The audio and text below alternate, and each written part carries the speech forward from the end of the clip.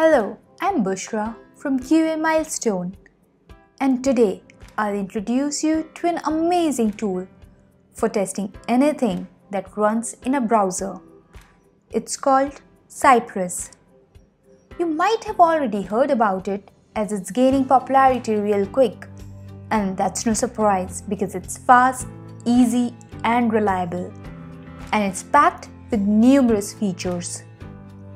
So let's dive in and see what Cypress has to offer. Cypress is a front-end testing tool and can be used to test anything that runs in a browser. Cypress is open source with an amazing community. Cypress also has a paid version which includes a dashboard for tracking your test runs.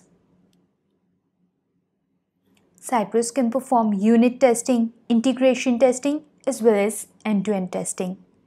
And that means Cypress isn't just for testers, but for developers as well. Cypress scripts are written in JavaScript. And for developers, that's a good news. But if you are a tester, then don't you worry if you're not familiar with JavaScript. Because most of the time, you would be working with Cypress commands. Cypress uses Mocha as a testing framework and Chai as the assertion library. If you're unfamiliar with Mocha and Chai, you could read a super quick and easy to follow tutorial posted here. Cypress is architecturally different from Selenium.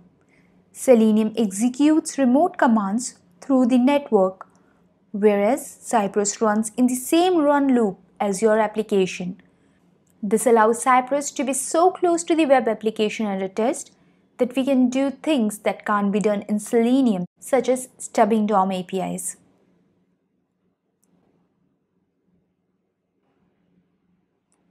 Let's now have a look at some of the amazing features of Cypress. Time travel. Cypress takes screenshots as your test runs out of the box. You don't have to do anything. Isn't that cool? Real-time reloads. Cypress automatically reruns your test whenever you make changes to it, which is so handy. Spies, stubs, and clocks. Verify and control the behavior of functions, server responses, or timers consistent results. The tests are flake free. Debuggability. Readable errors and stack traces make debugging so easy in Cypress. You no more have to guess why your tests are failing. Automatic waiting. Cypress automatically waits for commands and assertions before moving on. And so, you don't have to add waits or sleeps in your test. Network traffic control. Easily control, stub and test edge cases without involving your server. You can stub network traffic however you like. Screenshots and videos. Screenshots are taken automatically on failure and videos of your entire test suite are recorded when running headlessly, which again is pretty cool. Next up, we'll install Cypress.